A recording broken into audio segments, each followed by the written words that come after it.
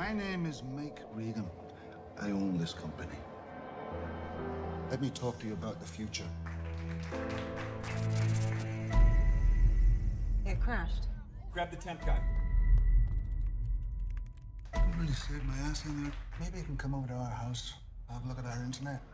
Ed Porter, ma'am. I'm the IT guy. This is our daughter, Kaitlyn. Hi. I was with the NSA. The NSA. You know, the smart panels in your home have built-in cameras, right? I had them disabled. I like my privacy. Good luck with that. Evening, Mike. Kaitlyn, she she texted me. This is family friends. Have a good night.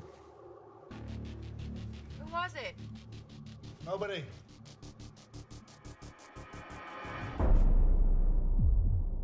We have an issue. We've been hacked. Someone's fucking with us.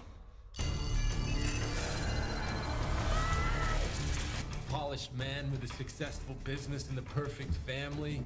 You're not the master of the universe, Mike. I got an email today that said that I tested positive for breast cancer. It had to be him. You have any evidence that he's actually done any of these things? We'll see how tough you are when your little planes start falling out of the sky. Until we can clean out the hack, everything's grounded. Change everything. Passwords, codes, secure this place. The pictures you take, the things you put out there, they can be used to hurt you. Privacy's over, Mike. It's a whole new world now. I want you to fix it.